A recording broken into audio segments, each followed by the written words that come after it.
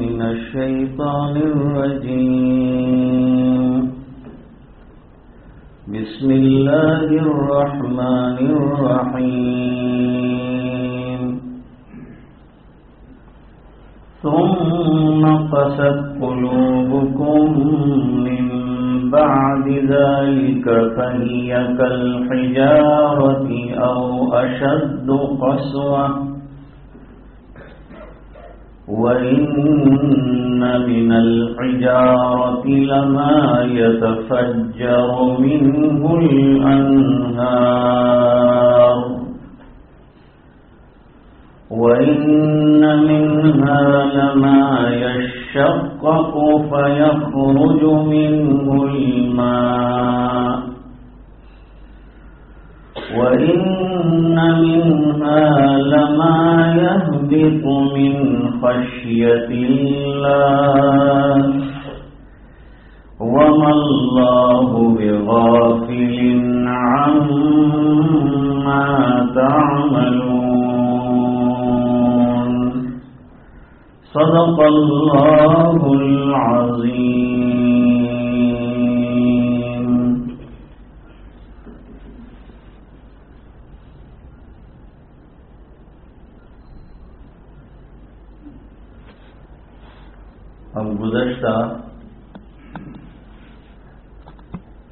حضرت موسا علیہ السلاط وسلام کی برکت سے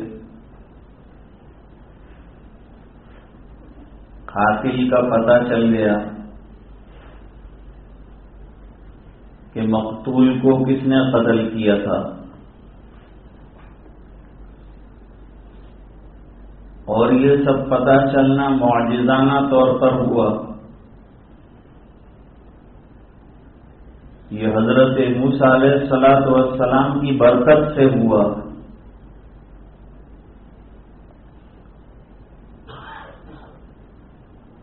اتنا ہونے کے بعد تو یہ حال ہونا چاہیے تھا کہ حضرت موسا علیہ السلام کے دامن کو نہ چھوڑ دے۔ ان کی تعلیمات کو نہ چھوڑ دے۔ ان کے اشارے پر زندگی گزارتے۔ لیکن اللہ تعالی فرماتے ہیں کہ ان کا مزاج اتنا ٹیڑھا رہا کہ اتنے واقعات دیکھنے کے بعد بھی ان کے دلوں میں نرمی نہیں آئی۔ اور نبی کی بات ماننے کا جذبہ نہیں آیا، بلکہ وہی ہٹ درمی کا سلسلہ جاری رہا۔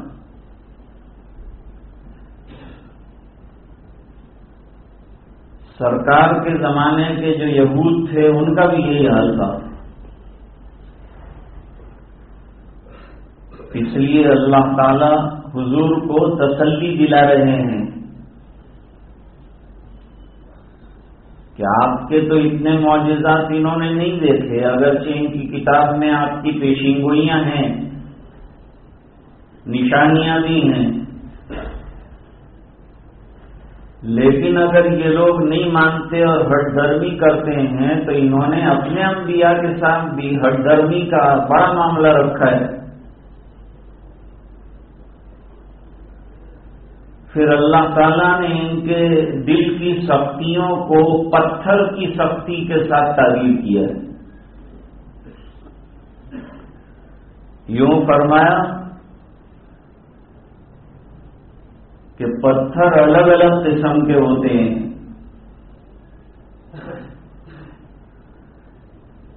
لیکن جب کوئی دل کا سخت ہوتا ہے تو کہتے ہیں یہ آدمی بڑا پتھر دل ہے سنگ دل ہے۔ جب کوئی بات اس کے دل میں نہیں اترتی تو ہم کہتے ہیں کہ یہ سنگ دل واقع ہوا ہے۔ کہ اس کو بات پلے نہیں پڑتی۔ اللہ تعالیٰ وہی بات یہاں یہود کے لیے فرما رہے ہیں۔ سما کسب قلوبکم، اس کے بعد بھی تمہارے دلوں کی سختی ختم نہیں ہوئی۔ ختم ہوتی تو حضرت موسیٰ علیہ السلام کی مان کر زندگی گزارتے۔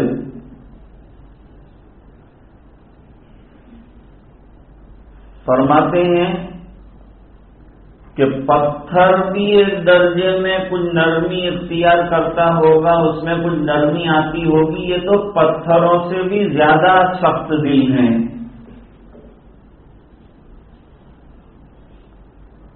کیوں؟ وَإِنَّ مِنَ الْحِجَارَةِ لَمَا يَتَفَجَّرُ مِنْهُ الْأَنْهَارُ۔ ہم لوگ پہاڑوں میں جاتے ہیں تو دیکھتے ہیں کہ بعض پہاڑوں کے پتھروں کے بیچ میں سے نہریں جاری ہے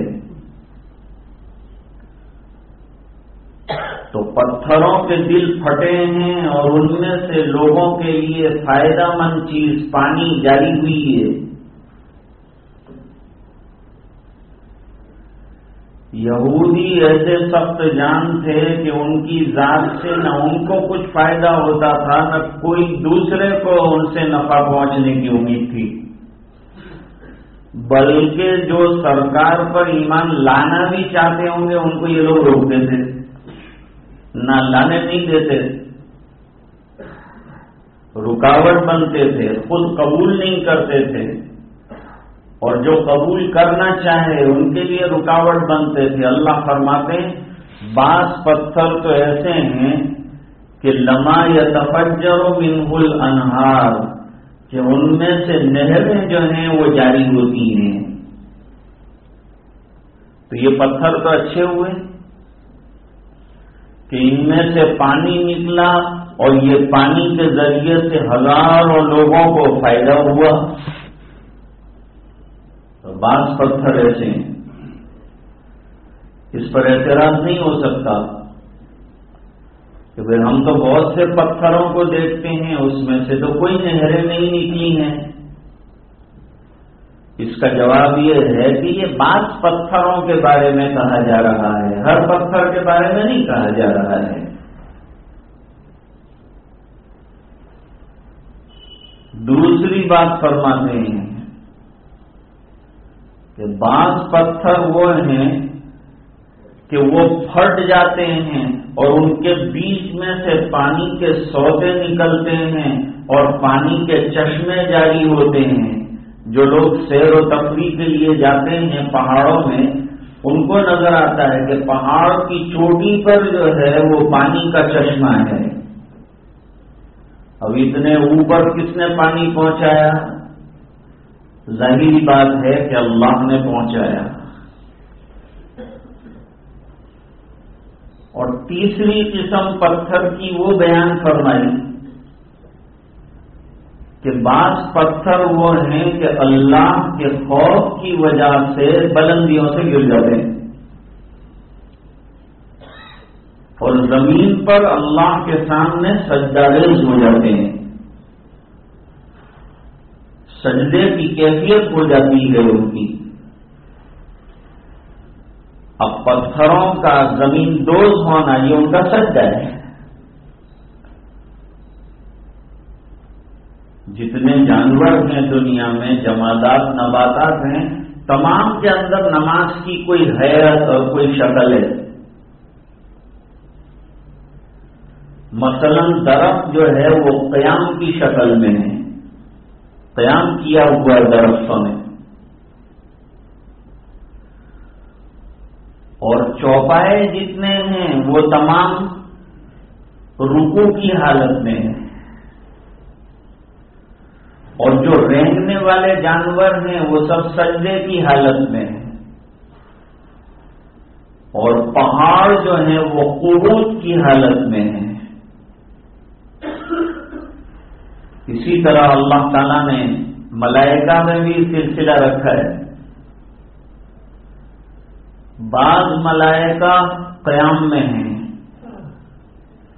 بعض ملائکہ کو رکوع کا وظیفہ دیا گیا ہے۔ بعض کو سجدے کا وظیفہ دیا گیا ہے۔ بعض کو قیام کا دیا گیا ہے۔ اور بعض کو تسبیح اور تحلیل کا دیا گیا ہے۔ تو یہ ہر وقت اسی کام کے اندر لگے ہوئے ہیں جو کام اللہ تعالیٰ نے ان کو ضرور کیا ہے۔ مثال کے طور پر فصلوں کو غلہ دینے کا کام دیا ہے۔ وہ کرتے ہیں آفتاب کو روشنی دینے کا کام دیا ہے۔ وہ کر رہا ہے۔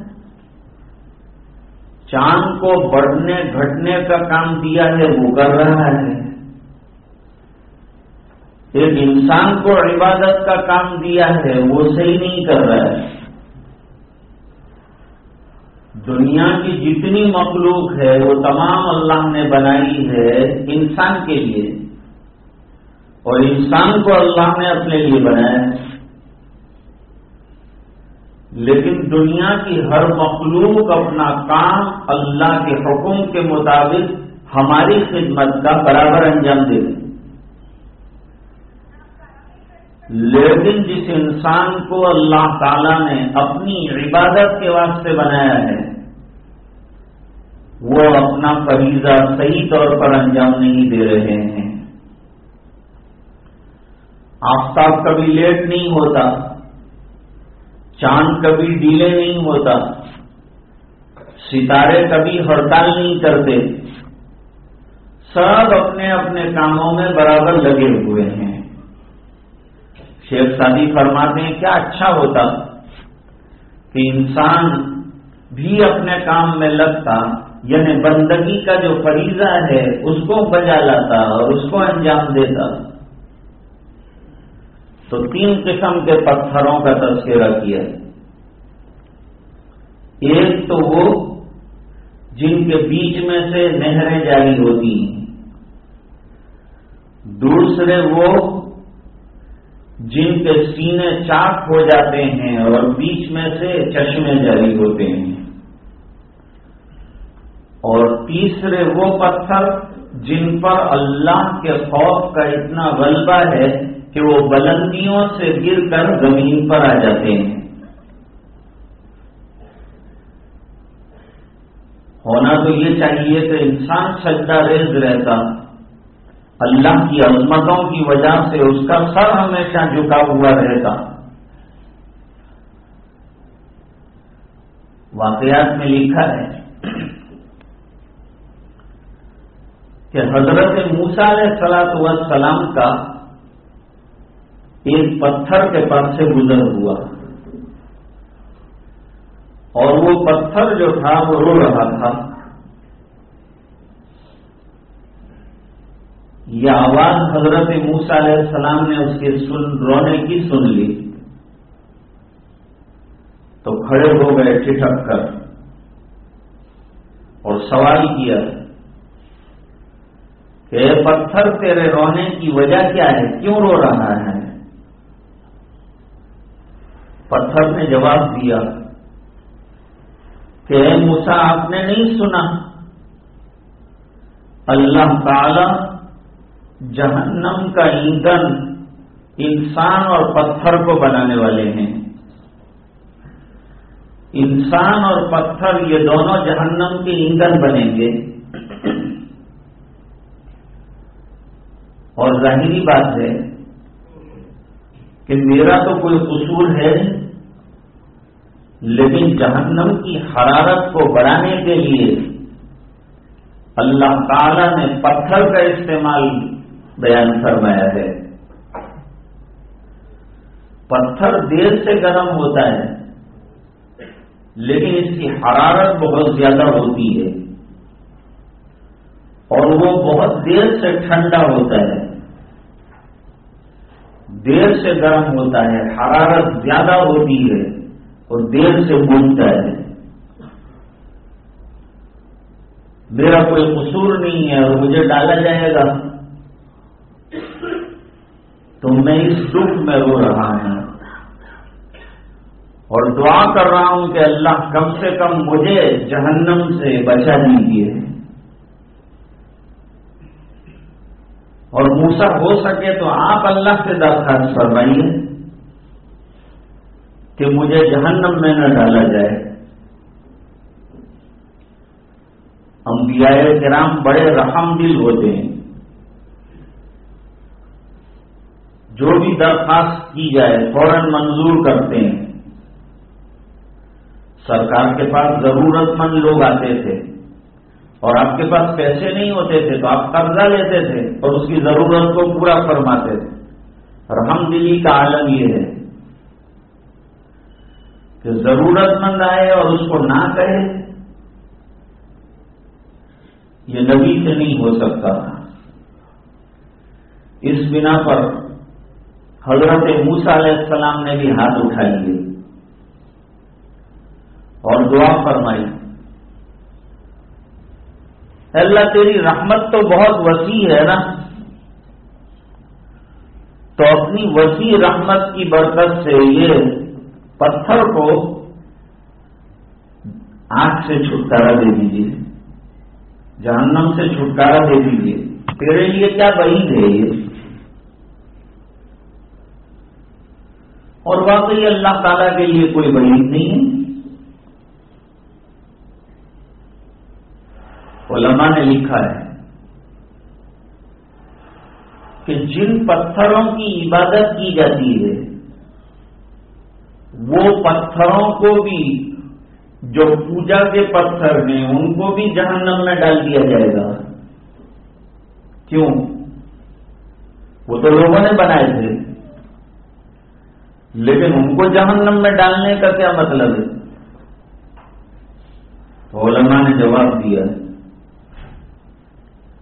کہ وجہ یہ ہے کہ جو ان کی عبادت کرنے والے تھے، ان کو اپنے انجام کا پتہ چل جائے۔ جن کی ہم عبادت کر رہے تھے، جب وہ خود جہنم میں ہیں تو ہم کہاں ہوں گے؟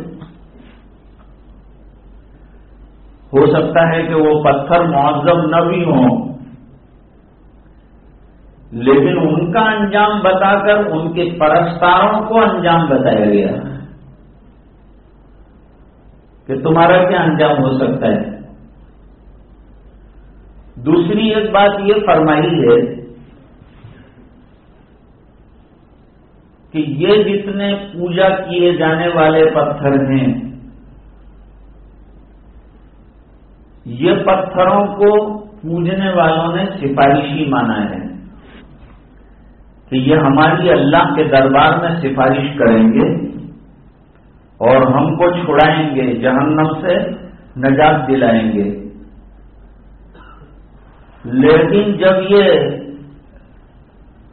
اپنے ان تمام پتھروں کو اور مورتوں کو جہنم میں دیکھیں گے تو ان کی امید منقطع ہو جائے گی کہ اب ان سے کیا سفارش کروائیں گے؟ یہ تو خود ہی مبتلا ہیں۔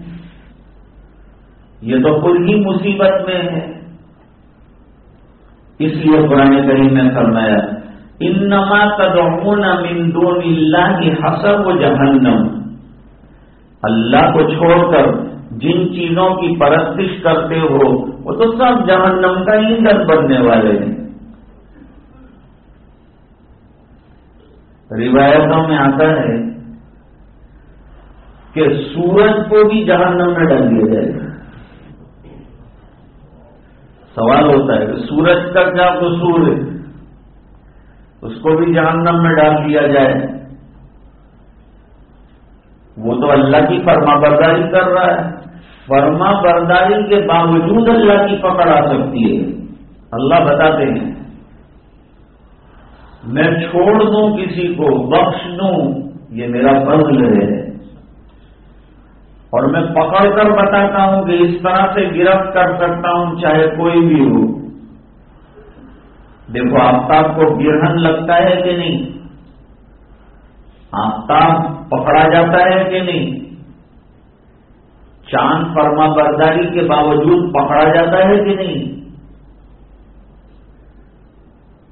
اللہ بتاتے ہیں کہ اتنا کرنے کے باوجود میرے غضب کا شکار ہو سکتے ہیں۔ تو جو رات دن نافرمان ہوں، وہ غضب کا شکار نہیں ہو سکتے۔ تو ان کو کتنا ڈرنا چاہیے؟ اس لیے آفتاب گرہن میں اور چاند گرہن میں نمازیں بتائی کہ تم عبادت میں لگ جاؤ۔ اور اللہ کے حضور میں اپنی بندگی کا اقرار کرو کہ اللہ تیری نافرمانی نہیں کرنا چاہتے اور اپنی پکڑ سے تو ہمیں بچائی ہو اس کی معافی اللہ کے دربار میں اور اس کی درخواست اللہ کے دربار میں کرتے ہیں۔ تو حضرت موسا علیہ السلاۃ والسلام نے دعا کر دی۔ اس پتھر کے واسطے دعا کی۔ کہ اللہ اس پتھر کو جہنم سے چھٹکارا دے دیجیے نجات دیجیے اللہ نے نبی موسا کی دعا کو قبول کروائی ہے۔ اور اعلان ہو گیا کہ بھئی یہ پتھر جو ہے، اس کو جہنم میں نہ داخل کیا جائے، نبی کی سفارش منظور کر لی جائے۔ منظور کر لی گئی۔ پھر ایک عرصہ دراز گزر گیا۔ حضرت موسا علیہ السلام والسلام کا وہیں سے گزر ہوا۔ وہ پتھر پھر رو رہا تھا۔ اب پھر رہ گئے حضرت موسا علیہ السلام والسلام پھر اس سے سوال کیا کہ تیری سفارش تو منظور کرا دی، جہنم سے چھٹکارا بھی دلوا دیا۔ تو رو رہا تھا۔ تیرا رونا پسند آ گیا، قبول کر لیا گیا۔ اب کیا ہے؟ اب رونے کی وجہ کیا ہے؟ اب کیوں رو رہا ہے؟ فرمایا کہ اے نبی، جس رونے کی وجہ سے چھٹکارا ملا ہے، وہ رونا نہیں چھوڑنا چاہتا۔ اس رونے نے مجھے بچا لیا۔ میں رو رہا تھا، آپ آئے میرے رونے پر، آپ کا دل پتیج گیا۔ اللہ کے دربار میں درخواست کی۔ یہ رونے کی برکت سے اللہ نے جہنم سے نجات دے دی۔ اب رونا چھوڑنے کو جی نہیں چاہتا۔ ایک بزرگ کے واقعات میں لکھا ہے کہ ان کے ہاتھ میں تصویر ہے اور وہ ذکر اللہ میں مصروف ہیں۔ تو ایک مرید نے کہا، حضرت آپ کو تصویر کی اب کیا ضرورت ہے؟ آپ کو تو اللہ تعالیٰ نے نہایت عالیشان مقام عطا فرما دیا۔ نہایت بلند درجے عطا کیے ہیں۔ اب آپ کو تصویر کی احتیاط نہیں ہے۔ تصویر کا نام عربی میں مذکرہ رکھا ہے۔ مذکرہ کے معنی یاد دلانے والی، اللہ کی یاد آ جائے گی۔ تصویر پر گیا ہاتھ، دانا ہاتھ میں آیا تو اللہ اللہ جاری ہو جائے گا۔ اس لیے مذکرہ کو ساتھ رکھنا چاہیے۔ لوگ کہتے ہیں، مولانا لوگ ریاکار کہتے ہیں، ہاتھ میں بڑا تصویر لے کے گھوم رہا ہے۔ بڑا اللہ والا بن رہا ہے۔ تو اللہ والا نہیں بنے گا تو کیا بنے گا؟ کیا بننا چاہیے اس کو؟ یہ تو اچھی چیز ہے کہ اللہ والا بن رہا ہے، شیطان والا نہیں بن رہا ہے۔ یہ تو خوش ہونے کی بات ہے۔ اور فرمایا یہ لوگوں کی بات پر توجہ دے گا نا تو لوگ اس کو دین سے بھی باہر نکال دیں گے۔ کوئی نماز پہ اعتراض کرے گا، کوئی داڑھی پہ اعتراض کرے گا، کوئی کرتے پہ اعتراض کرے گا، سب چھوڑ دو گے تو تین ہاتھ سے چلا جائے گا۔ تو ایسی باتوں پر توجہ نہ دی جائے۔ تو حضرت تصویر چھوڑ دیجیے یہ ذکر جو تصویر کے ذریعے سے کرتے ہیں، آپ کا تو دل جاری ہے۔ ہر وقت اللہ اللہ کر رہا ہے، آپ کا دل۔ زبان بھی آپ کی ذاکر ہے، کیا ضرورت؟ فرمایا، بیٹا، یہ تصویر کی برکت سے اللہ نے ولایت عطا فرمائی، تو یہ تصویر کو کیسے چھوڑ سکتا ہوں؟ اس بنا پر یہ تو اب ہمیشہ ساتھ رہے گی۔ تو تین قسم کے پتھروں کا تذکرہ کیا اور یہود کے بارے میں کہا کہ تم تین پتھروں سے بھی جوڑ ہوئے ہو۔ نہ تمہارا دل پسیجتا ہے، نہ اس میں ہدایت کے سودے جاری ہوتے ہیں، نہ اس میں دین کی کوئی بات آتی نہ تمہاری ذات سے کوئی فائدہ پہنچتا ہے۔ آگے اس کا مضمون بیان کیا ہے۔ اللہ تعالیٰ فرماتے ہیں، تم جو کام کر رہے ہو، نبی کی بات کو نہ ماننا، انکار کرنا، ہٹ دھرمیوں پر جمے رہنا، یہ تمام چیزیں اللہ کی علم سے غائب نہیں ہیں۔ اللہ نے ان تمام چیزوں پر نظر رکھے ہوئے ہیں اور جیسا اللہ جانتے ہیں اس کے مطابق تمہارے ساتھ معاملہ ہوگا اور اسی کے مطابق اللہ تعالیٰ تمہیں بدلا دیں گے۔ اب ایمان والوں سے کہا جا رہا ہے جو حضور کے زمانے کی یہ ہیں، ان کے بارے میں اللہ تعالیٰ سرکار اور صحابہ کرام سے کہہ رہے ہیں۔ اب تک معاون یوں میرو لگوں تمہاری رات دن تمنا یہ ہے کہ کسی طرح سے یہ لوگ تمہاری دعوت قبول کر کے دین میں آ جائیں۔ اپتک معاون یوں میرو رقم وقت کا نہ فریق منہم یس معمون کلام اللہ۔ حالانکہ ان کا ایک بڑا گروہ یہ اللہ کے کلام کو سنتا ہے۔ تورات میں بھی سنتا ہے اور خود نبی کی زبان سے بھی سنتا ہے۔ لیکن انہوں نے تورات میں جو آسمانی کتاب تھی، اس کے اندر تحریف کر دی تھی، تغیر کر دیا تھا۔ اللہ کی کتاب میں ایسی جسارت کی تھی کہ انہوں نے اس کو بدل دیا تھا، اس کے مضامین کو بدلا تھا۔ تحریف لفظی بھی کی تھی، تحریف مانوی بھی کی تھی۔ مانا بھی بدل دیتے تھے، الفاظ بھی بدل دیتے تھے، یہ بہت بڑا جرم تھا وہ کرتے تھے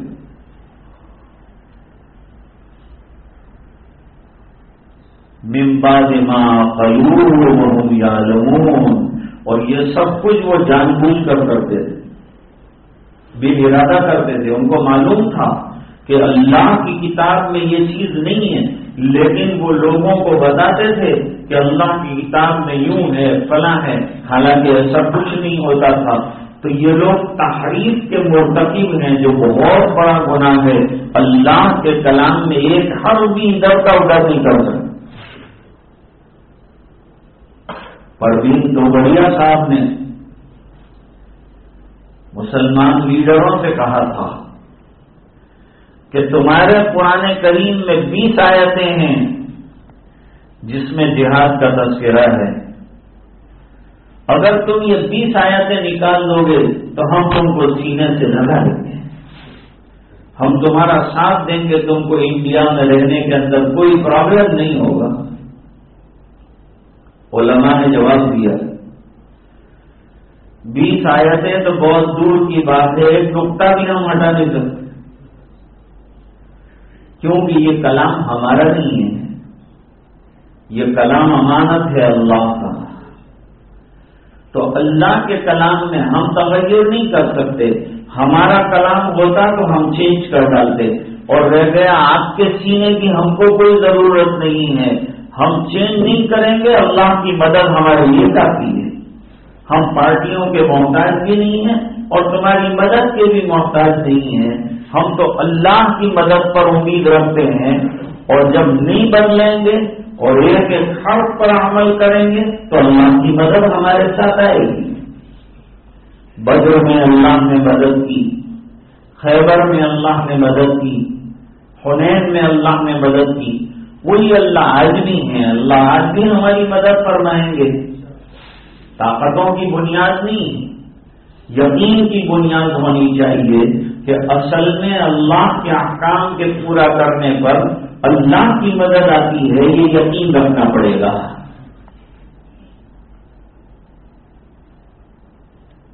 یہ بڑے اہم مضامین ہیں۔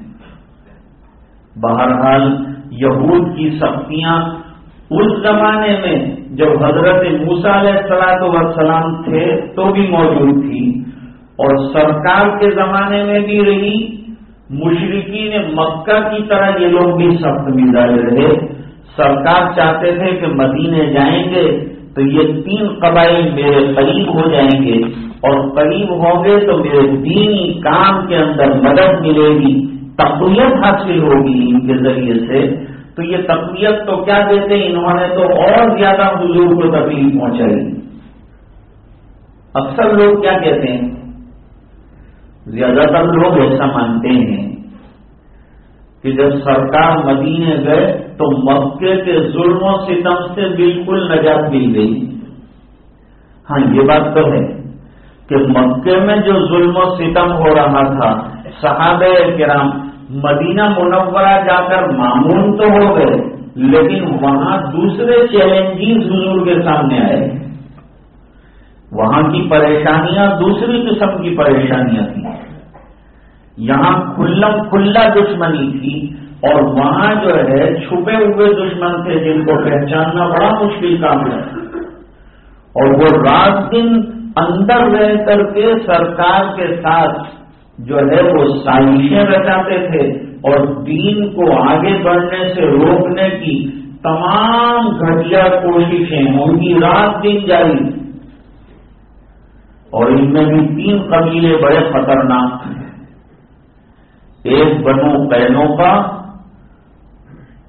دوسرا بنو نذیر، تیسرا بنو قریضہ اور انہوں نے یہ سمجھا تھا کہ ہم باہر سے رہ کر ایسی حرکتیں کریں گے کہ ان کا دین مدینے سے آگے نہیں بڑھ سکے گا۔ مکے والوں نے پوری طاقت لگائی تھی کہ دین مکہ کی پہاڑیوں سے اس طرف نہ جانے پائے۔ تو اللہ نے مدینے پہنچا دیا۔ اللہ نے حوشے میں پہنچا دیا۔ پھر جب مدینے کے یہود نے چاہا کہ دین میں رکاوٹ بنے، تو اللہ نے یہ تینوں قبیلوں کو ذلیل اور رسوا کر دیا۔ یہ مسلمانوں کے ہاتھوں سے رسوا کیا۔ ان کے سرداروں کو قید کیا گیا۔ کتنے لوگ قتل کیے گئے۔ اور خیبر میں جا کر یہ تمام باقی بچے ہوئے بھگوڑے جتنے تھے، وہ یہود خیبر خیبر میں پہنچ گیا خیبر میں کئی قلعے تھے۔ سرکار نے وہاں محاصرہ کیا اور وہاں بھی ان کو گھیرا۔ اللہ تعالیٰ نے مسلمانوں کو طاقت عطا فرمائی اور پھر یہود کے اوپر بھی اللہ تعالیٰ نے کامیابی عطا فرمائی۔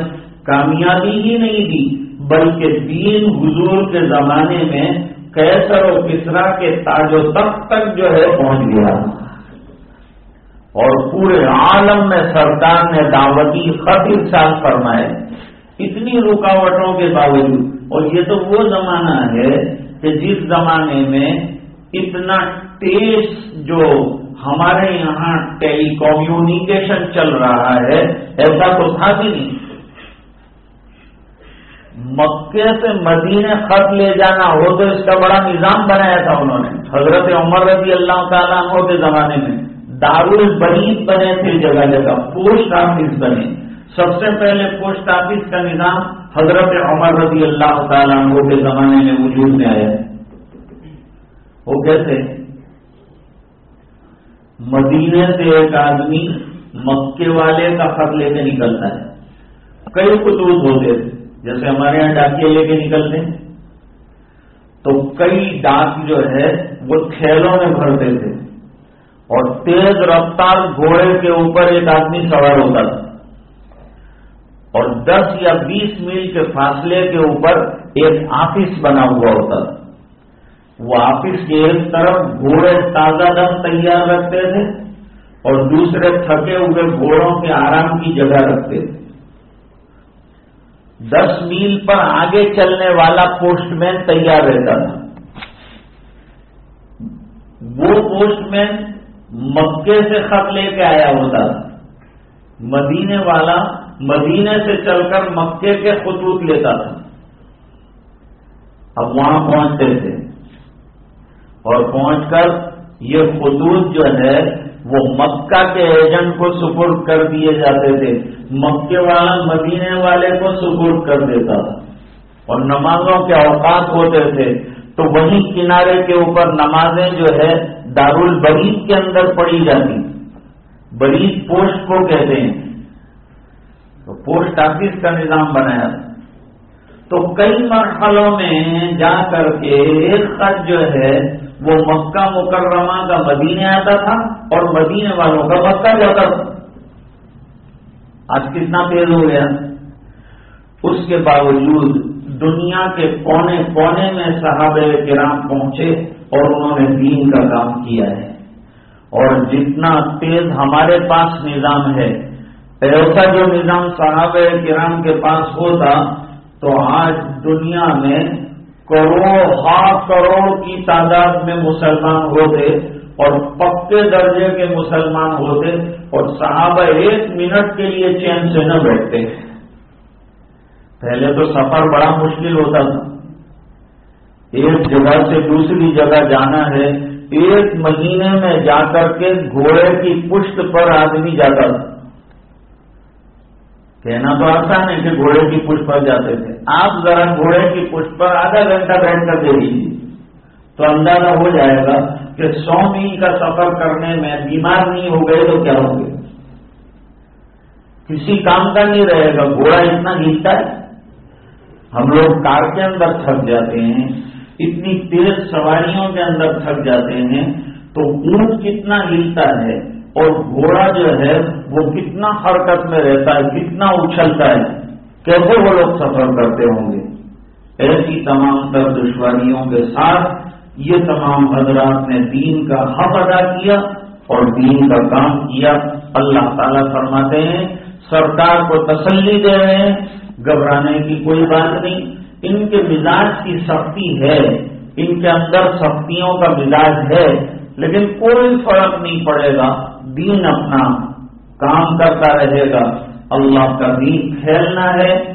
تمام تر رکاوٹوں کے باوجود انشاءاللہ پھیلتا رہے گا۔ اللہ تعالیٰ دین کی فہم نصیب کرنا ہے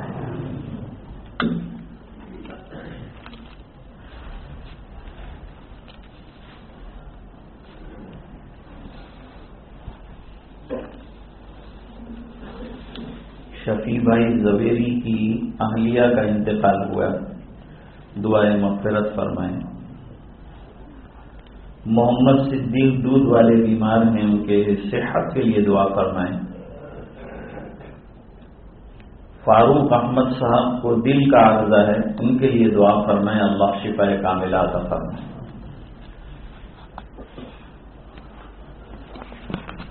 درود پاک پڑھیں۔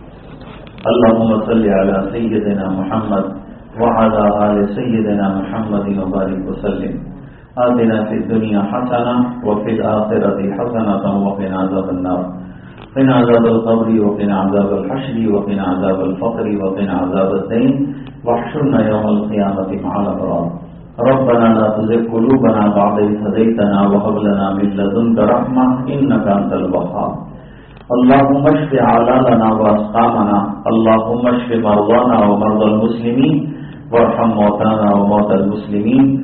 ربنا هب لنا من ازواجنا وذرياتنا قرة اعين واجعلنا للمتقين اماما. ربنا آتنا من لدنك رحمة وهيئ لنا من امرنا رشدا. حسبنا الله لديننا، حسبنا الله لدنيانا، حسبنا الله لمن بغى علينا. حسبنا الله لمن كادنا بالسوء. اللهم احفظنا من الإسلام قائما. اللهم احفظنا بالإسلام قائما. اللهم احفظنا بالإسلام قائدا اللهم احفظنا بالإسلام راقدا. ولا تشمت بنا عدوا ولا حاسدا. اللهم احفظنا من الأوقات والبليات ووفقنا للطاعات والعبادات. وبارك لنا في الرزق والحسنات. اللهم احفظنا يا فياض من جميع البلايا والامراض اللهم لا تقتلنا بغضبك ولا تهلكنا بعذابك وعافنا قبل ذلك. اللهم وفقنا لما تحب وترضى واجعل آخرتنا خيرا من الأولى. اللهم أعنا على تلاوة القرآن وذكرك وشكرك وحسن عبادتك. اللهم يسر لنا في أمورنا كلها ولا تعسر علينا أمورنا. اے اللہ ہمارے گناہوں کو معاف فرما خدانیوں سے درگزر فرما، اپنا فضل اور کرم شامل حل فرما. رحم کے اور کرم کے اور عافیت کے، خیر کے، فضل کے، سکون کے، امن و امان کے فیصلے فرما. اے اللہ اپنی رضا دائمی عطا فرما. اے اللہ ہر قسم کے گناہوں اور معصیات اور ضرور اور سیاحت سے اللہ ہمارے حساب حفاظت فرما. اللہ سیاحت کو حسانات سے مبدل فرما۔ اے اللہ تو ہم سے راضی اور خوش ہو جا۔ ہمیں اپنا بندہ بنا دے۔ اے اللہ نمازوں کا پابند بنا دے۔ اے اللہ تلاوت قرآن کا شیدائی بنا دے۔ اے اللہ العالمین ذاکرانہ اور شاکرانہ زندگی نصیب فرما۔ اے اللہ ہر قسم کی ذلتوں سے اور بے زمیوں سے پوری ملت اسلامیہ کی حفاظت فرما۔ اے اللہ امن و امان والی زندگی عطا فرما۔ اے اللہ دنیا میں اور علاقوں میں جہاں جہاں سیلاب کی شکل ہے، اے اللہ تمام سیلاب زدہ علاقوں کی مدد فرما۔ اور جو ان کی مدد کرنے والے ہیں، ان کی بھی مدد فرما۔ اے اللہ العالمین، جن علاقوں میں بارش کی سخت کمی پائی جا رہی ہے، اے اللہ وہاں رحمت والی بارشیں برسا دے۔ اور اے اللہ سیدن نافعہ بارش برسا۔ اور اے اللہ العالمین، جہاں جہاں جس قسم کی پریشانیاں ہو اے اللہ تمام پریشانیوں کو اپنے فضل سے دور فرما، اے اللہ پورے مجمے کی مفرت فرما، بیماروں کو شفا دا فرما، پریشانوں کی پریشانیاں دور فرما، جو الجھنوں میں گرفتار ہیں، ان کی الجھنیں دور فرما۔ اے اللہ، جب تک زندہ رکھے ایمان پر زندہ رکھ جب دنیا سے جانے کا وقت ہو، اے اللہ، ایمان کے ساتھ جانا نصیب فرما۔ دعائیں اپنے فضل و کرم حبیب پاک صلی اللہ علیہ وسلم کے تو خیر منظور فرما۔ سبحان ربک رب العزت عما یصفون، سلام علی المرسلین والحمد للہ رب العالمین۔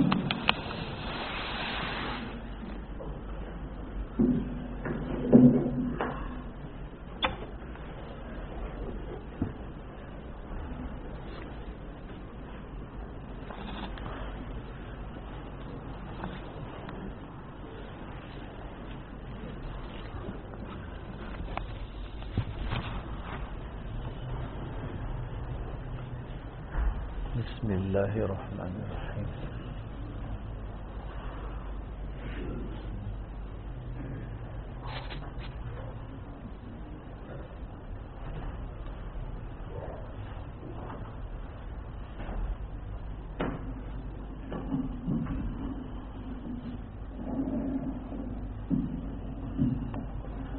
تھوڑی دیر کے لیے انشاءاللہ ذکر کریں گے.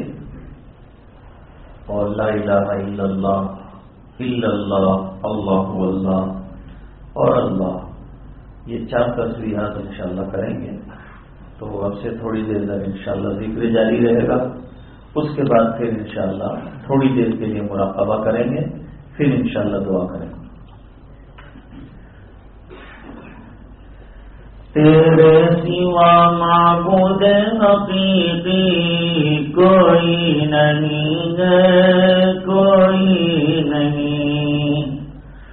اور تیرے سوا مسجود حقیقی کوئی نہیں ہے، کوئی نہیں۔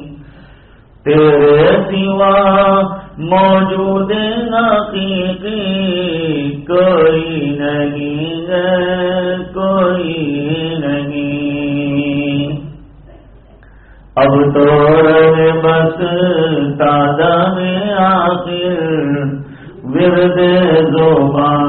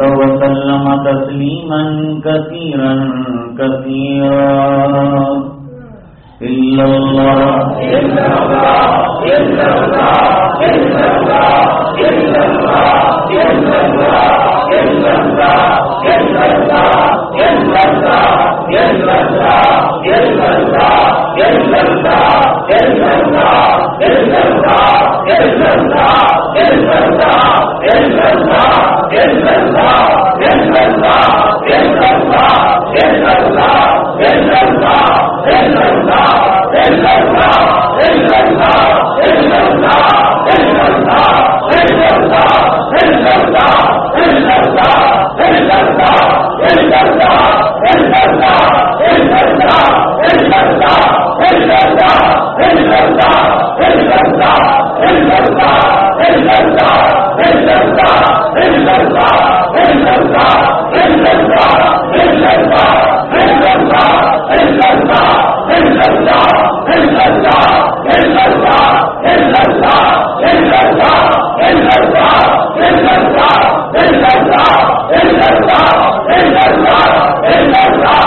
Oh, my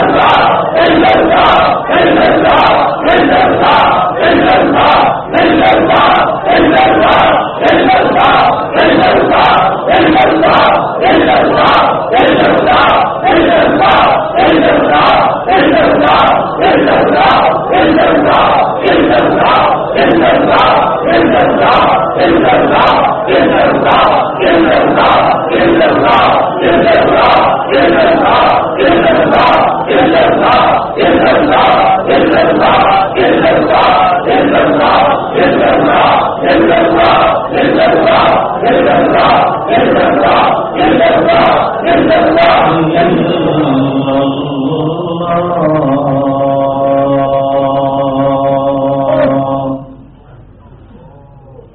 اللہ اللہ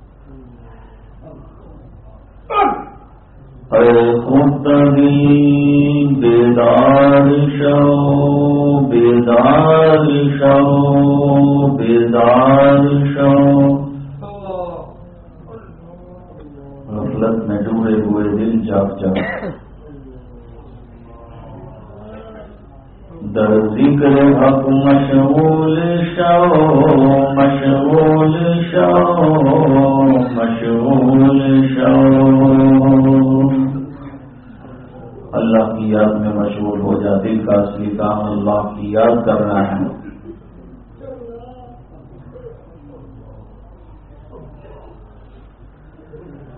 عزیز و دوستو، یارو، یہ دنیا دار پانی ہے۔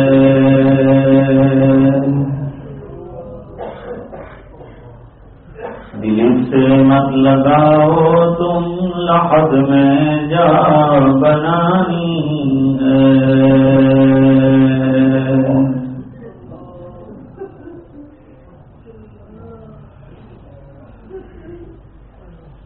تو آیا بکرتا فصال اللہ دنیا میں۔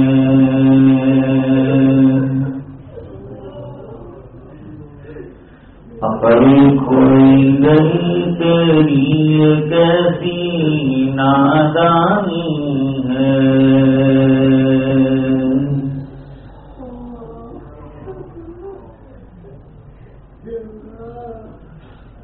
تو روز رکھ نماز پا خدا کو یاد کر بھر دوں۔ کہ یہ نیکی تجھے ایک دن کام آنی ہے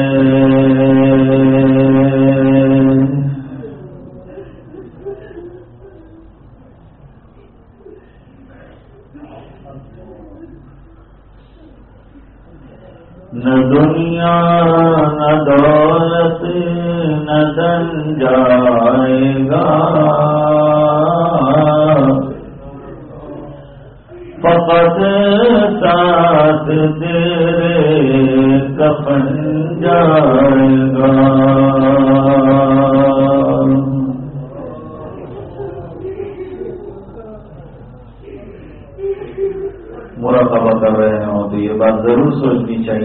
چاہیے گیا تو میں نے آنکھیں بند کر دی ایک دن ایسا آئے گا، میرے جسم پر میرا اختیار ختم ہو جائے گا۔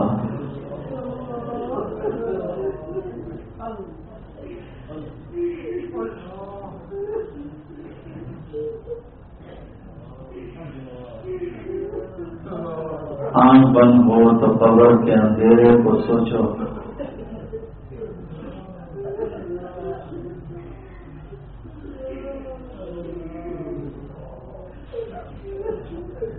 کہ سب یارو مددگار چھوڑ کر مردے کو چلے آتے ہیں۔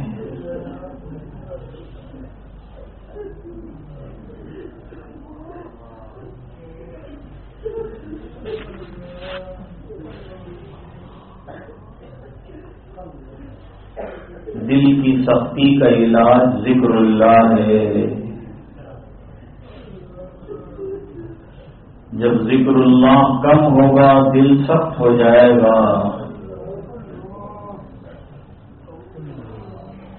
جب تمنائیں بڑھ جائے گی، دل سخت ہو جائے گا۔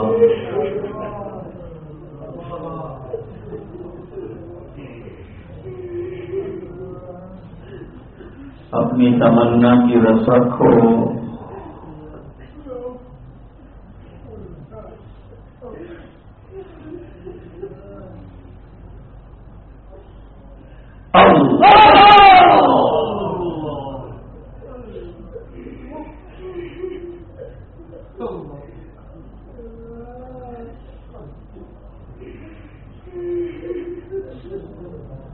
لا إله إلا الله محمد رسول الله صلى الله عليه وسلم اللهم صل على سيدنا محمد وعلى آل سيدنا محمد كلما ذكره الذاكرون وكلما غفر عن ذكره الغافرون، اللهم إن قلوبنا ونواصينا وجوارحنا بيدك لم تملكنا منها شيئا، فإذا فعلت ذلك بنا فكن أنت ولينا واهدنا إلى سواء السبيل. اللهم اعط نفوسنا تقواها وزكها، أنت خير من زكاها، أنت وليها ومولاها. اللهم طهر قلوبنا من النفاق وعملنا من الرياء والسنتنا من الكذب وعيوننا من الخيانة فإنك تعلم خائنة الأعين وما تخفي الصدور. يا مقلب القلوب، ثبت قلوبنا على دينك. ثبت قلوبنا إلى طاعتك. اللهم اشف علالنا واسقامنا اللهم اشف مرضانا ومرضى المسلمين. وارحم موتانا وموتى المسلمين. اے اللہ ہمارے گناہوں کو معاف کرنا اے اللہ در در کی ٹھوکریں کھا کر تیرے در پر آئے ہیں۔ اے اللہ اپنے دروازے سے ہمیں محروم نہ کرنا اے اللہ، ہمیں تو تیرا نام لینا بھی نہیں آتا۔ اے اللہ، جو ٹوٹا ٹوٹا ہو گیا اپنے فضل سے قبول فرما دے اے اللہ، ہمارے دلوں کو ذاکر بنا دے۔ اے اللہ، ہماری زبانوں کو ذاکر بنا دے۔ اے اللہ، ہمارے دلوں کو تیری یاد سے جاری کروا دے۔ اللہ، نور معرفت سے ہمارے قلوب کو منور کروا دے۔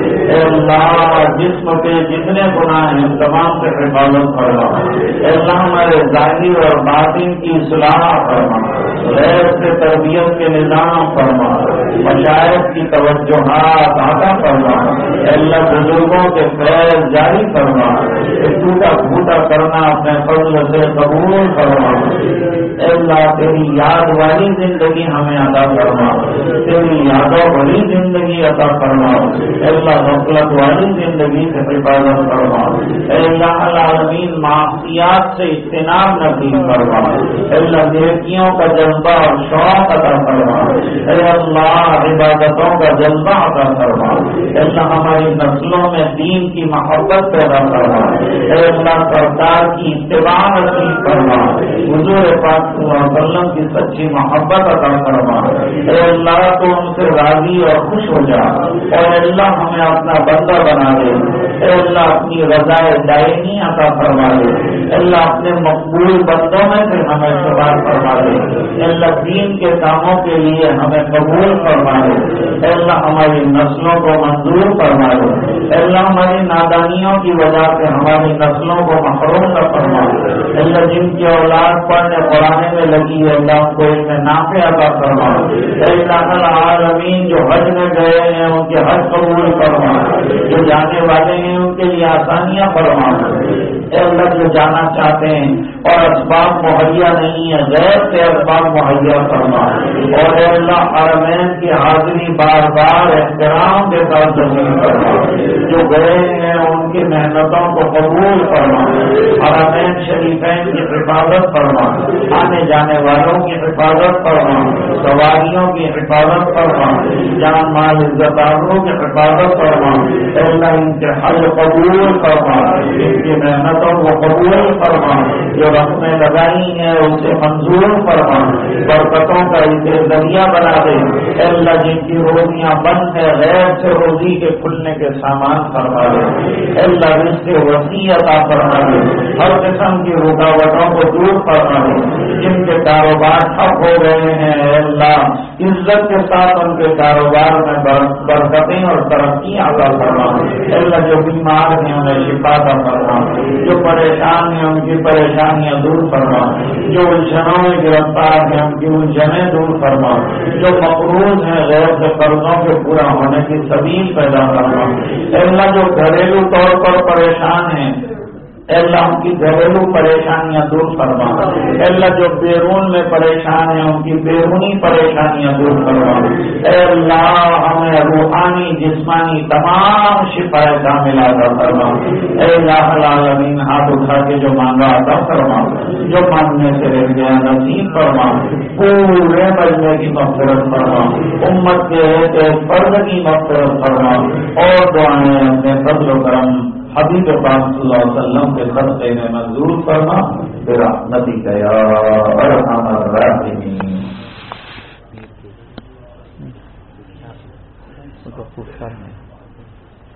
تو ان کا